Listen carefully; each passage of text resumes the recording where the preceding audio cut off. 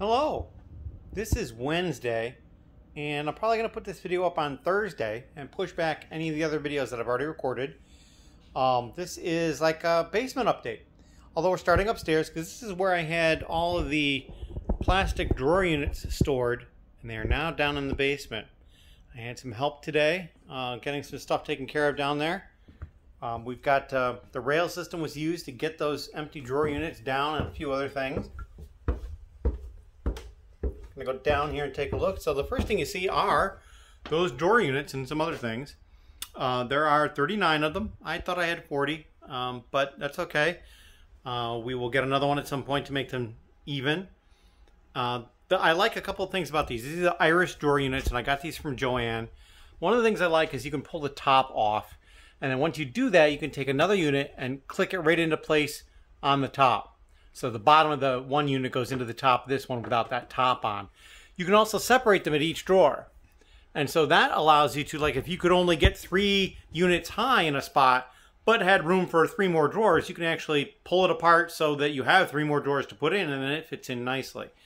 Um, so that's a couple of reasons I like these units. There are some tote type things here and some other storage over here. These old uh, Sterlite drawer units. I have a bunch of those and some other things. Um, this plastic storage shelving was previously bought. Uh, I got this at Ollie's. Uh, we ran out of time putting them together, so we're going to do that at a different point. Uh, they were actually bought days ago. Uh, over here I have some like shoebox style plastic plus other plastic in behind that I've accumulated. Some new, some used.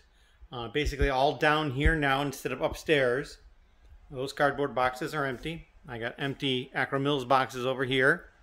And then this area here held all the excess Akro-Mills drawers, which are no longer here, and we'll talk about that.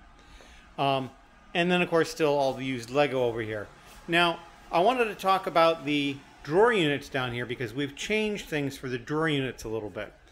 Uh, originally, I was going to set it up so this side here was new and this side was used and then identical thing here. This side was new and this side was used and this side was new. And the reason I did that was because I knew I needed more room for the bulk sets that I have purchased to part out. And I was going to need more of the large drawers. And so those new sides were set up with a 64, a 44, and then two 24s. And it was it was great. I was ready to go, but the one thing I realized then is I have all of this used. And this is not all of it. I have more totes upstairs that need to come down, and a separate thing at some point we'll take care of. And so because of that, I decided to flop. And so now the front side is used and used, and this will be new. And so what we did in here is we just flipped stuff same thing over here. We just flipped stuff. And then on the last side, where we couldn't flip because there's no additional unit, we just pulled out the top three and then put the 44 back in, put the 64 back in, got eight more 64s to put here, and then I had an extra 24 that I reboxed for storage. And speaking of storage, we're going to look at the crouch space where all that storage is occurring. It's all been put in here. Turn the light on. Uh, and this is cleaned up. I mean, it's not perfect, but it's just storage, really. And I gotta really crouch down to get underneath all these ductwork things and whatnot. But over here, it opens up a little bit. And so you can see all my boxes for the Akro-Mills lined up. And I got them organized. Now over here, I've got two different categories of 24 drawer units. One that are warped medium 2 and one warped low 1. And what those are is basically the drawers are warped. Uh, and the medium ones are worse and the, the low ones aren't as bad. And you know, I'm not sure. It's unfortunate that I had to deal with that. It's like you wish you got good product every time. It just doesn't happen that way. Um, and then I've got eight 64 drawer units that have stickers on them. I got those locally for only $10 a piece, so I couldn't pass that up deal. Then I've got some 64 drawer units that are just regular units. And then the same thing with the 24s. I got three stacks of those, although the last stack is small. And then this last stack, there's only five units. There are two 44s. There is a 64 and a 24 that I'm using to swap drawers out. Like when I have a broken drawer or a discolored drawer, I'll swap out. And then one more, it's a 64 where there's no drawers. All the drawers are upstairs that I was using for parting out and sorting and that sort of thing. So that's just down here in storage. But at some point, we will move in the totes of the bulk used Lego so that it's not in the main area choking out space. We're going to head back out now. And speaking of the extra drawers I have, I made a list so I know what I have. And this is what I have.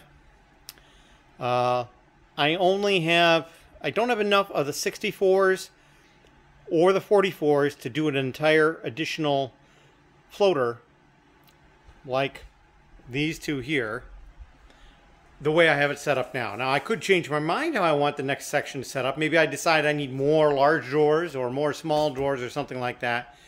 At the moment I don't have enough of the two uh, 64 or 44 drawer units. I have plenty of the 24s to do another one, although I'd have to dip into those warped ones, but I think I could do it with only using the warped one and not the warped two. So that is the situation down here. Um, we are continuing to, to move forward. I do also have some drawer units over here that are in Akro-Mills boxes, but they're different. Uh, they're oriented vertically instead of horizontally. They're not quite as tall, and there's a little bit of gap there too. So they're not they're smaller than the Akro-Mills drawer units, but they're all large drawers. And those are going to be used for other things. I'm not 100% sure what, but I may uh, keep them in a slightly different spot so they don't get things confused. But yeah, I mean, we're getting there. Uh, we have cleared up that space. Now, that space at the top of the stairs where I had the uh, drawer units previously may be where I move my sort station to, at least temporarily. Uh, so I can then reclaim more of the living room as well because the living room is kind of choked out at the moment with stuff.